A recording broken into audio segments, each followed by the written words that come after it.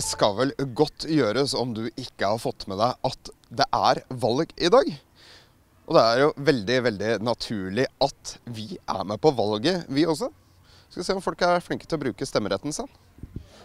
Nå har du vært eh, valglokaleleder i en eh, årrekke. Hvor, flinke syns du folk er til å bruke stemmeretten sin i Norge?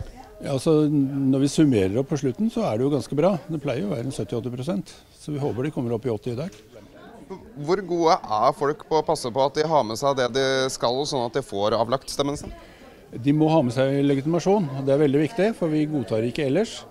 Og noen få er det da som har et problem, som må gå hjem og hente den. Men ellers så går det veldig bra. Folk er ganske flinke. Og Forstår folk eh, stemmesedlene, eller er det ofte at eh, de som velger for første gang, må ha hjelp? De som velger for første gang, er jo de som forstår det best. Det er gjerne de eldre som ikke skjønner helt at de ikke har konvolutt lenger. Så de må vi veilede litt, men det pleier å gå bra. Nå har du vært inne og stemt. Hvorfor er det viktig å bruke stemmeretten sin? Jeg tenker at eh, I veldig mange land har man ikke muligheten til akkurat det her å stemme, selv om vi tar det som en selvfølgelighet. Jeg så stemmer jeg også fordi jeg tenker at eh, skal man ha noe å si, eller ha en grunn til å mene om samfunnet, så er det viktig å benytte seg av stemmeretten sin. Det er jo selvfølgelig ikke helt tilfeldig at vi er på Nøtterøy. Det er jo fordi at her skal jeg stemme, så jeg må jo passe på å få gjort det når vi først er her. Men valget er jo privat, så du skal ikke få være med inn på det.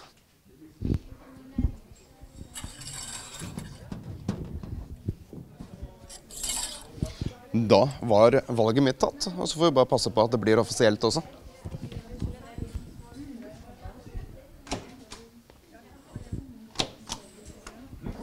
Takk for det.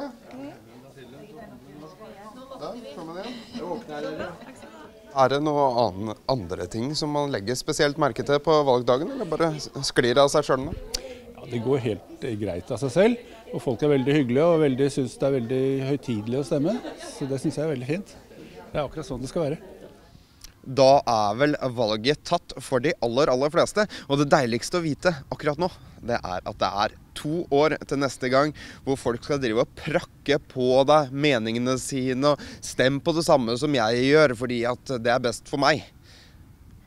Det blir slitsomt. Nå skal vi i hvert fall ta en liten pause. Vi er straks tilbake.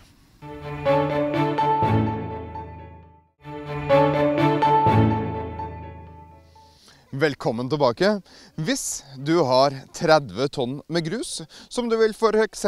flytte ned en bekk, hva er enkleste og billigste måten å ordne det på? Barnearbeid, selvfølgelig.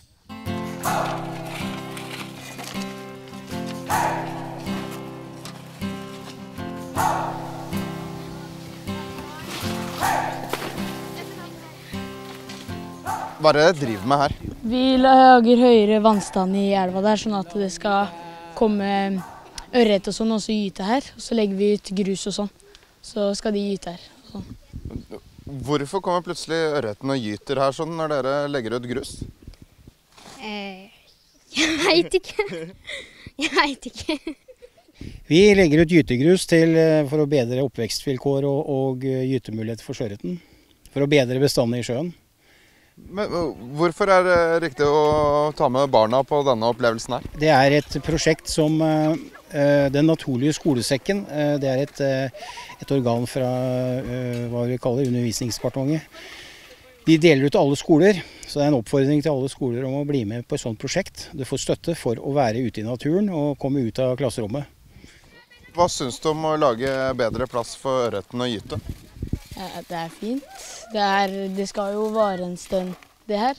Det, skal jo, det er jo lenge før vi er ferdig med det, så det er liksom at den skal komme ut her, så det er bra. At det blir, det blir flere, liksom. Ørret. Er du noe glad i fisk? Ja, ikke alle typer. Noen. Den er kanskje bedre i live enn det den er på middagstallerken. Ja. Men Hva syns du om akkurat ørreten, da? Em, jeg har ikke smakt ørret før, men eh, de er fine. Ja. Bare se på dem. Uansett så har du jo ikke lyst til å spise de som du hjelper her. Nei. Nei. Hvorfor er det viktig å gjøre sånne ting som dette her? Fordi da blir det mer ørret. Mye mer òg. Sånn sjøørreten kommer ned fra vannet og opp her og gyter, og da blir det flere i sjøen og sånn. Kommer du til å prøve å fange noen av dem etter hvert? Ja, kanskje. Er det, er det fordi at du skal spise dem, eller er det bare fordi at du skal se at du klarer å fange dem? Nei, det er litt begge deler. Det er litt begge deler. Og du, da? Jeg tror ikke jeg kommer til å gjøre det. Skal mer se på at han driver med det. Ja, tror det. Med tilrettelegging som dette her, sånn, så blir det jo greit for elveretten også. Etter hvert så kanskje det her blir reine fiskeelva. Bekken. Nei, vi sier elva, gjør vi ikke det? Nå skal du i hvert fall straks få turbo. Vi ses.